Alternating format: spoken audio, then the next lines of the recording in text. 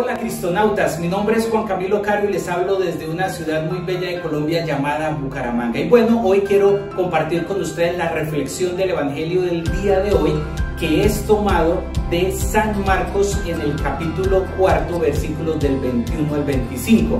Y quiero eh, fijarme justamente en un elemento muy importante que toca este Evangelio a su inicio y es que una lámpara, dice el Evangelio, no está puesta o no está diseñada para colocarla debajo de un cajón o debajo de una cama, sino que está dispuesta para colocarla encima de un candelabro. ¿Para qué?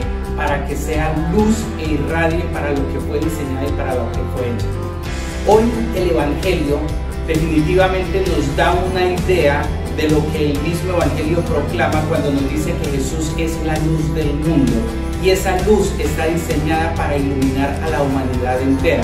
Pero al mismo tiempo siento que el Evangelio nos hace un llamado a nosotros, primero, para que vivamos en la luz, para que nosotros seamos esa luz que se pone sobre un candelero. Y cómo nosotros podemos ser luz en este mundo donde vivimos, viviendo justamente el Evangelio, apropiándonos de la palabra del Señor, dando testimonio día a día de lo que el Señor nos está llamando a hacer. Por eso yo quiero invitarlos a todos y cada uno de ustedes que sigamos esta reflexión a través de la lección divina en las páginas de cristonautas.com y fundacionpane.com. Muchísimas gracias, que Dios los bendiga y nos veremos en otra ocasión.